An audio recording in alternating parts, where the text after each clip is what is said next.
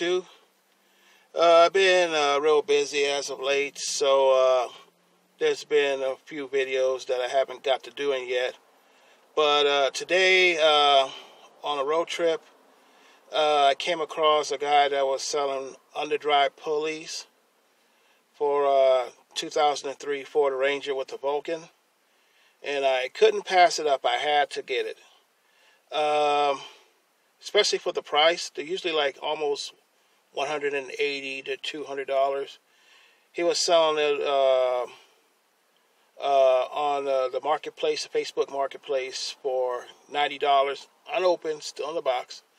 So I ended up getting it, and uh, I went straight to uh, a shop to have them install it. Uh, so far, so good. Um, it, it, I don't notice any difference right now.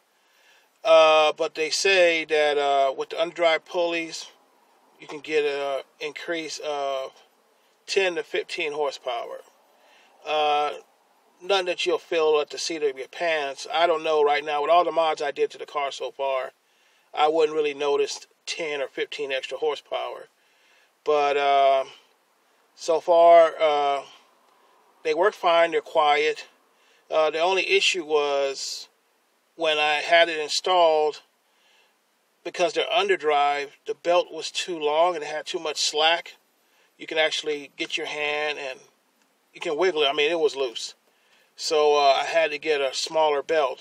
And what I found out was the belt from uh, first gen Ford Taurus is actually small enough where it tightens everything up and everything is working uh, AC, power steering, everything.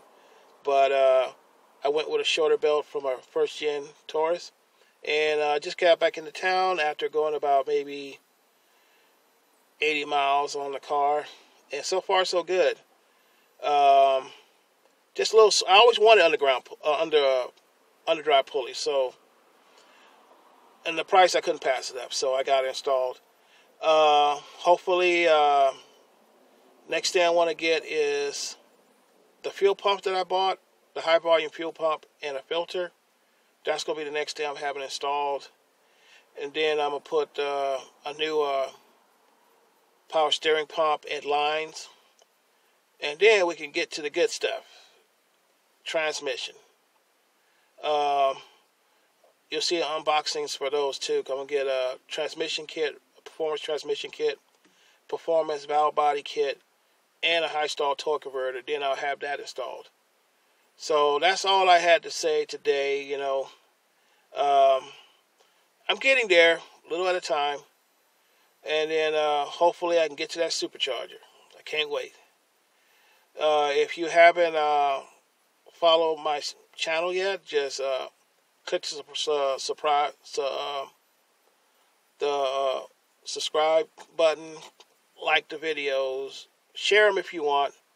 Uh, I'm also on Instagram. I'm also on on uh, Facebook. I have a page there where I'm keeping everything that I uh, do public, so everybody know what I'm doing.